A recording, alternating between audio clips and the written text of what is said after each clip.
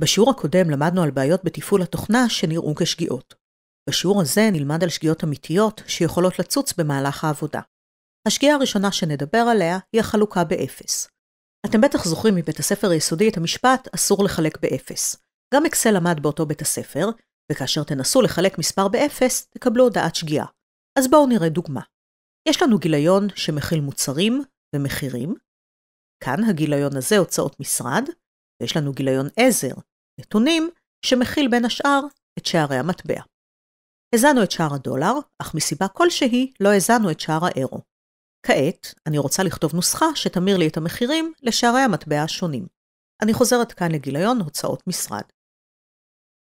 אני עומדת בתא שבו אני רוצה את התוצאה, כאן תא C2, ולוחצת על שווה, המחיר בשקלים, חלקי, וכאן אני עוברת לגיליון נתונים, ובוחרת בשער הדולר. משום שארצה לגרור את הנוסחה, אני מבקשת לקבע את ההפניה לשער הדולר על ידי לחיצה על F4. אתם יכולים לראות כאן בשורת הנוסחאות את הנוסחה ואת הקיבוע. כעת אני לוחצת על Enter, וכמו שאתם רואים, קיבלתי את המחיר. אולם מה יקרה אם ארצה עכשיו לדעת מהו המחיר באירו? אני עומדת כאן על D2 ולוחצת שווה, מצביעה על המחיר בשקלים, חלקי, ועוברת לנתונים.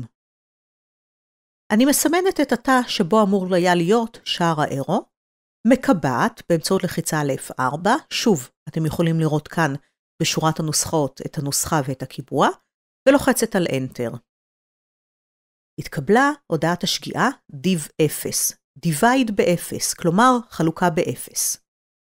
אני רוצה שתשימו לב שבקצה העליון של התא מופיע לי משולש ירוק, כאן, שמסב את תשומת ליבי לכך שיש בתא משהו לא תקין. אם אלחץ על המשולש, תיפתח תיבה, זאת, שמסבירה לי מהי השגיאה. במקרה שלנו, שגיאת חילוק על ידי 0. בהמשך הפרק נלמד כיצד לתקן שגיאות שנוצרות בזמן הקלדת הנתונים. שגיאת value מופיעה כאשר נעשה שימוש שגוי בסוג הארגומנט. לדוגמה, ניסיון לערוך חישובים מתמטיים על תאי טקסט. במקרה שלי, אני מעוניינת לחשב את המע"מ לכל אחד ממחירי המוצרים. אז אני כותבת כאן את הנוסחה שווה למחיר בשקלים כפול 0.17. אני לוחצת על Control Enter, קיבלתי את המע"מ שהוא 170 שקלים. בואו נגרור כעת את הנוסחה, והנה אני מקבלת את התוצאות. אני רוצה שתשימו לב לתא הזה. הסיבה שקיבלתי את הודעת השגיאה היא שניסיתי לערוך פעולה חשבונית בין מספר לטקסט. כי בעוד שבכל התאים בעמודה B ישנם מספרים 1,000, 50, 3,510 וכן הלאה, הערך שנמצא בתא B6 הוא ערך טקסט, לא הוזן ערך. לכן, כאשר ניסיתי בתא E6 לחשב את המע"מ לתא טקסט, קיבלתי את הודעת השגיאה value. אז בואו נזין את הערך הרצוי, בואו נניח שמחיר הכיסא הוא 500 שקלים, והנה עכשיו קיבלתי את התוצאה הנכונה. שגיאה נפוצה נוספת היא שגיאת NA. ראשי התיבות של Not Applicable, לא ניתן לחישוב. אולם יהיה לכם קל יותר לזכור את ראשי התיבות Not Available, וזאת משום שהשגיאה מתקבלת בדרך כלל כאשר ערך החיפוש לא נמצא. בואו נראה דוגמה באמצעות הפונקציה VLOOKUP. אני מעוניינת לדעת אם המוצרים הכתובים ברשימה נרכשו בשנה האחרונה. בגיליון נתונים, בואו נעבור אליו לרגע, יש לי את רשימת המוצרים שרכשתי בשנה האחרונה, כך שאני יכולה להשוות בין הרשימות. לצורך כך, אני משתמשת בפונקציה VLOOKUP, עליה למדנו באחד הפרקים הקודמים. אז בואו נעבור כאן אל הוצאות משרד, ונוסיף כאן עמודה, האם נרכש בשנה האחרונה. כל מה שאני רוצה הוא לחפש את המוצר שנמצא כאן בעמודה A, בתוך גיליון נתונים. אז בואו נעבור כעת לנוסחאות, כאן, ותחת בדיקת מידע ועיון, בואו נבחר בפונקציה VLOOKUP. הנה כאן. אז מהו נתון החיפוש שלי? הערך שנמצא כאן בתא A2. מהי טבלת החיפוש שלי? הנתונים שנמצאים כאן בגיליון נתונים. עברתי לגיליון נתונים, ואני מסמנת את המוצרים שנרכשו בשנה האחרונה. מכיוון שאני מתכוונת לגרור את הנוסחה, אני אלחץ על F4 לצורך קיבועה.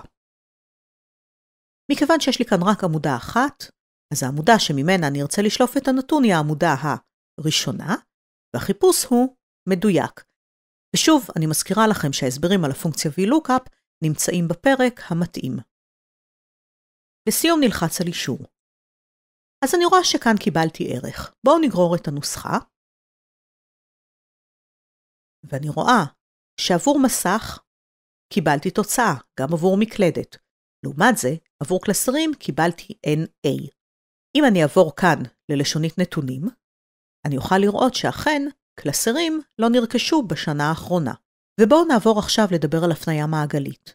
על פי הכללים המנחים של אקסל, נוסחה יכולה להתייחס לתאים אחרים, אך לא לכלול את עצמה.